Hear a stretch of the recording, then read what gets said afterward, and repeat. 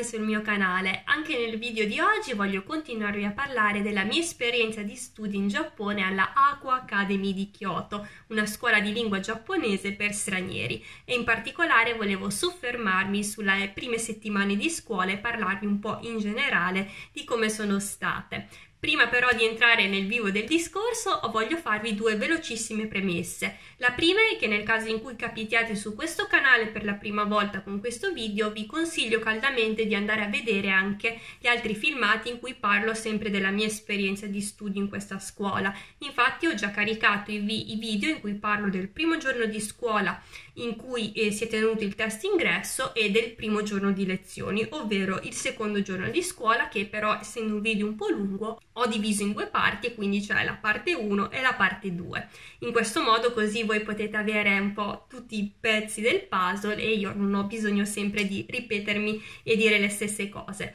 Secondariamente, se vi interessano i miei video, ricordatevi di iscrivervi al canale e mettete anche un bel pollice in su. Comunque non voglio perdere altro tempo e quindi voglio ritornare subito al, al discorso di questo video. Allora, nel, nella puntata precedente ci eravamo lasciati con io che ero tornata a casa dal primo giorno di scuola ed ero sconvolta perché non capivo assolutamente nulla, i professori parlavano solo giapponese e quindi volevo solamente piangere, fare le valigie e scappare via dal Giappone. Comunque, nonostante questo mio stato d'animo molto negativo, e comunque le, le, cose sono iniziate presto a migliorare. Ovviamente la prima settimana è stata abbastanza un po' confusionaria, ero abbastanza scombussolata perché ovviamente dopo il primo impatto, che è stato un po' uno shock, una bella doccia fredda, anzi proprio gelida, Uh, ovviamente ho avuto bisogno di un pochino di tempo per riprendermi anche perché poi ovviamente ero appena arrivata in un altro paese in cui non conoscevo nessuno, dovevo fare ancora amicizia con i miei coinquilini, i miei compagni di classe e quindi ovviamente eh, ci sta che essendo un po' spaesati così, essendo tutto nuovo, eh, è facile ovviamente farsi prendere un po' dall'emozione. Però comunque dopo quel primo giorno di scuola, visto che i giorni successivi continuavo a tornare a casa viva. Insomma, mi sono fatta un po' coraggio, ho cercato di mantenere i nervi saldi, fare un bel respiro e insomma razionalizzare un po' la cosa perché anche se eh, comunque metti caso anche che la scuola fosse andata male, continuavo a non capire niente così, il peggio che mi poteva capitare era prendere dei votacci, cioè anche proprio facessi delle verifiche terribili, al massimo prendevo dei brutti voti, non è che stessi andando in guerra, ecco, insomma ovviamente uno non è che possa comandare le sue emozioni, però ovviamente mi sono insomma un po' detto ok, va bene, tutto nuovo così, però insomma non esageriamo, ecco, non c'è bisogno di andarsi a buttare nel fiume o insomma mettersi a piangere, Ovviamente ho avuto bisogno anche di un po' di tempo per potermi abituare no, a tutta la mia nuova vita, anche all'interno no, della scuola, quindi conoscere i professori, capire il loro metodo di insegnamento, eh, capire no, come si svolgevano le lezioni, perché comunque i professori tendevano ad avere un metodo abbastanza schematico che poi si ripeteva sempre. Quindi dopo questo primo periodo di rodaggio le cose sono andate sicuramente molto meglio, perché poi ci sono stati anche due fatti che mi hanno un pochino rincuorato e almeno ho scoperto di non essere l'unica che non capiva niente, perché insomma il mio timore subito all'inizio era quella di essere insomma un pochino l'ultima della classe, cioè l'unica che non capisce niente, che prende solo dei votacci, però alla fine per fortuna non è stato così anche perché poi eh, nella mia classe ovviamente c'erano comunque anche degli altri studenti che eh, avevano iniziato a studiare giapponese in Giappone proprio quel trimestre lì e anche loro si trovavano un po' in difficoltà perché eh, anche loro, avendo studiato nel loro paese, erano abituati a studiare giapponese spiegato nella loro madrelingua. E quindi mi ricordo anche che dopo i primi giorni c'era un, una, una, mia compagna ungherese che anche lei ci aveva detto no, alla fine delle lezioni ma, ma ragazzi ma sono io l'unica che non capisce niente, cioè io i professori loro parlano, io proprio non capisco una parola. E quindi quando ho sentito quella sua confessione io veramente sono, cioè, sono rinata praticamente perché ero lì che dicevo per fortuna che non sono l'unica che non capisce assolutamente niente. E poi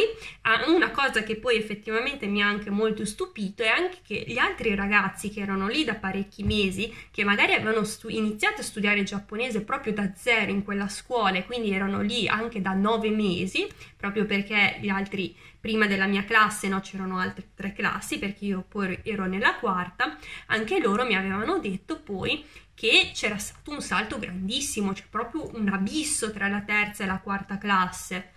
E quindi questo ovviamente eh, mi ha ancora un po' più incoraggiata perché poi anche loro no, dicevano che eh, per esempio c'era anche un mio compagno belga che a lui per esempio non piaceva molto il nuovo libro perché lo trovava molto più difficile mentre invece loro erano prima abituati come me all'università con il Minano Nihongo sia il volume 1 che 2 che poi facevano no, nei nove mesi precedenti e quello ovviamente è un testo molto più facile rispetto a quello che avevamo noi perché anche solo mettendolo a confronto no, il Minano Nihongo parte con le frasine d'esempio il piccolo dialoghino cioè invece lì il nuovo testo cioè partivi con la lettura di almeno una pagina due con tutto il lessico nuovo con tutte le forme grammaticali nuove che poi ti venivano spiegate successivamente anche gli esercizi d'ascolto no, col dialogo, cioè non erano lì dieci battute come quelli del Minano Nihongo, cioè erano anche una pagina, due, forse anche tre,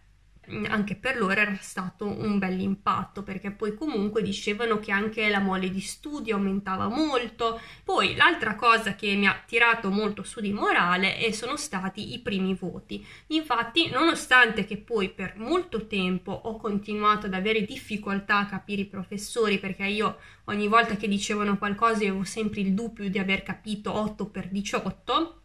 e quindi non ero mai certa e comunque eh, dai primi risultati eh, insomma ho visto che almeno nella parte scritta andavo bene. Infatti avevamo innanzitutto tutti i giorni un test dei kanji veloce che facevamo proprio in 10 minuti un quarto d'ora poi comunque c'erano sempre dei compiti, di solito almeno ogni giorno una pagina di esercizi che poi dovevamo fare a casa e riconsegnare entro di solito una settimana, però a volte anche entro il giorno dopo. Poi dopo i professori no, ce lo correggevano, ce lo restituivano. Poi ovviamente alla fine di ogni unità, sia di grammatica che di kanji, avevamo anche degli altri test. E quindi pian piano eh, vedevo che comunque i, sia i compiti che i primi test andavano bene. Inoltre, anche alla fine del, delle lezioni, quasi sempre avevamo anche un, proprio un mini test che facevamo molto velocemente, proprio gli ultimi minuti, in cui i professori no, ci davano una scheda da fare con esercizi proprio molto veloci, proprio era proprio una facciata, eh, per esempio di completamento oppure di scegliere la forma giusta tra due o tre poi dopo eh, andavamo no, lì alla cattedra direttamente, ci mettavamo in fila indiana e poi la professoressa lo correggeva proprio lì sul momento, anche proprio senza voto, una cosa così molto rapida e vedevo che anche se avevo sempre il timore di, una, di, non aver capito nulla, comunque vedevo che gli esercizi li facevo bene. E a volte riuscivo anche a, a volte a fare tutto giusto, altre volte comunque a fare pochissimi errori, quindi e loro di solito avevano i voti in centesimi, no? E quindi magari stavo sempre sugli 80, sugli 90 e magari se capitava proprio che mi andasse male, magari un, c'era un compito no, che mi andava male, e, insomma riportando i voti in decimi magari prendevo 7, 7 e mezzo, se proprio mi andava male non ho mai preso proprio delle insufficienze gravi, insomma proprio da dire mh, mm, che non avessi capito assolutamente nulla. E quindi anche questo, insomma, mi ha molto eh, sollevato di morale, insomma, ha fatto molto bene la mia autostima perché almeno dicevo, beh, almeno sullo scritto eh, in quello vado bene. E poi anche perché eh, io adesso non sono una che sta lì a farsi gli affari degli altri, eh, io mi ricordo sia a scuola che all'università, così, io generalmente non andavo proprio mai a chiedere i voti degli altri mi facevo sempre gli affari miei, però comunque ovviamente quando il professore è lì che distribuisce i compiti e gli dà il tuo compagno di banco a quello davanti, a quello di fianco, ovviamente insomma lo vedi, ecco, cioè non è che mi mettevo lì, mi coprivo gli occhi per non vedere i voti degli altri. E quindi ovviamente no, buttando l'occhio sui vari miei compagni no, che erano seduti vicino a me, eh, vedevo che mh, mm, insomma anche loro comunque i loro voti eh, a volte erano anche peggio dei miei eh, o comunque erano in linea, cioè vedevo che anche loro facevano degli errori, ecco, e insomma non è che prendevano sempre il massimo dei voti, poi ovviamente anche lì c'erano quegli studenti più bravi che si impegnavano molto di più, che prendevano dei voti molto alti, anche quelli che studiavano un pochino meno e quindi avevano, insomma, ogni tanto prendevano anche dei voti un po' mm, non esattamente belli. Per cui questo ovviamente mi ha, insomma, sollevato di morale, insomma mi ha dato molto coraggio, ecco, perché potevo, perché comunque dicevo almeno qualcosina capisco, ecco. Per concludere e tirare un po' le somme no, delle prime settimane di scuola, eh, posso solamente dire che sono state sicuramente dal primo giorno, che è stato terribile, sono state comunque sempre un, un lento miglioramento, ecco. Ovviamente con questo non voglio dire che poi è stato tutta una discesa, tutto facile, perché comunque anche dopo un po' il carico di studio si faceva sentire, ecco, perché eravamo comunque sempre sotto pressione, avevamo test tutti i giorni, poi alla fine del trimestre, no, con tutti i vari esami, insomma, ero veramente eh, arrivata alla fine che proprio eh, avevo cercato di dare il massimo e dopo proprio non avevo più energie, proprio è stato molto faticoso, però almeno insomma dal punto di vista insomma dell'umore eh, insomma è stato comunque un miglioramento netto perché comunque dal primo giorno, da come ero tornata a casa che volevo fare le valigie e scappare via, eh, insomma dopo un po' di tempo, almeno quando tornavo a casa non volevo piangere. E ovviamente c'era la fatica dello studio, questo sicuramente, però insomma alla fine dei tre mesi io se avessi potuto sarei rimasta lì perché insomma è stata comunque un'esperienza bellissima anche se molto dura. E però poi sì, io veramente, anche perché Kyoto è una città bellissima, per cui finiti quei tre mesi avevo un po' la lacrimuccia e dover tornare in Italia è stato comunque faticoso, ecco, poi dovevo tornare in ogni caso perché comunque scadeva il mio visto turistico, no? perché potevo fare solamente 90 giorni perché non avevo fatto quello studentesco Bene ragazzi, io per il momento mi fermo qua, spero che questo video sia stato interessante, vi sia piaciuto e poi sicuramente in futuro continuerò a parlarvi sempre più nei dettagli di questa mia esperienza di studio in Giappone. Sicuramente farò un video in cui farò un bilancio complessivo di questi tre mesi, eh, voglio fare anche un filmato in cui vi mostro i testi no, che avevamo per studiare giapponese e poi magari farò anche qua, qualche video in cui vi spiegherò meglio come funzionavano le lezioni, insomma cose del genere. Bene, io mando un bacione a tutti quanti e spero di rivedervi in un prossimo video.